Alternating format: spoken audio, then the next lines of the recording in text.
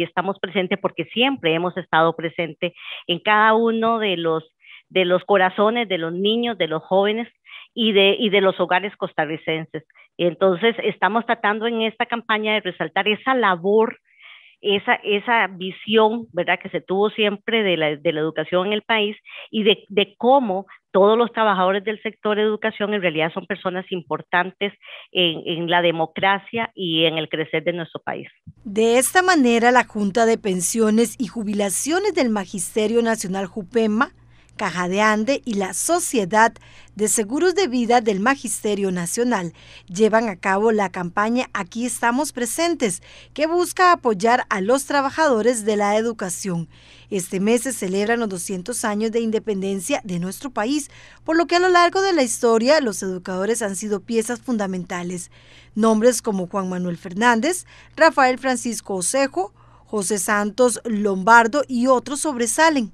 Costa Rica siempre se ha destacado, ¿verdad?, eh, por, por, la educación. Eh, a lo largo de toda esta historia, siempre los educadores han sido piedra fundamental del proceso de, formación de, ciudadanos, de las personas eh, que conforman este hermoso país. Ellos siempre han sido personas que se han destacado, ¿verdad? Por, por poner esa, esa resaltar esa labor, eh, ponen su alma en todo lo que hacen.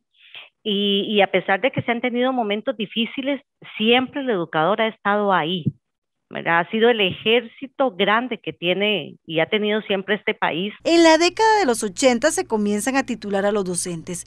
Este fue un logro muy importante. En los años 86 más o menos, bueno, yo ingresé en, esa fecha, en el año 87, se da una firma muy importante entre el Ministerio de Educación y algunas universidades públicas en donde se comienzan a titular docentes, ¿verdad? Porque eh, antes los docentes salían de la misma escuela o de la misma, del mismo colegio y entonces se le nombraba porque se necesitaban docentes.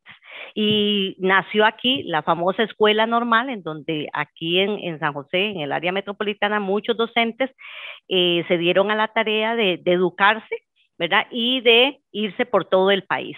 Pero bueno, gracias a todo esto, estos esfuerzos que se han hecho, eh, ya los docentes se volvieron personas profesionales. En medio de una pandemia, muchos aspectos han cambiado. Sin embargo, la presencia del educador es fundamental. Seguimos pensando eh, que el educador sigue siendo pieza fundamental en, en, todo lo que se hace, ¿verdad? En la construcción de, de, una sociedad más justa, en una sociedad más democrática, en una sociedad en donde tiene que enseñarle a los niños y a las niñas a ser personas pensantes, personas críticas, ¿verdad? Y entonces, eh, a pesar de todo, siempre sigue siendo eh, una, una, una, pieza fundamental. Cabe indicar que por medio de esta campaña se busca reconocer la vocación de docentes, personal administrativo, conserjes, oficiales de seguridad y personal de cocina por el trabajo que llevan a cabo diario.